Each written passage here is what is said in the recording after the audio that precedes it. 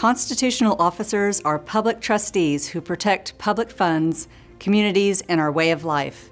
Amendment 10 is returning the power to the voters to determine who will serve as the clerk of court, sheriff, property appraiser, supervisor of elections, and tax collector. The amendment sets parameters which prevents counties from abolishing any of the five constitutional officers or relegating any officers into an appointed position. Amendment 10 protects Florida citizens and visitors by ensuring constitutional officers report directly to the people they serve.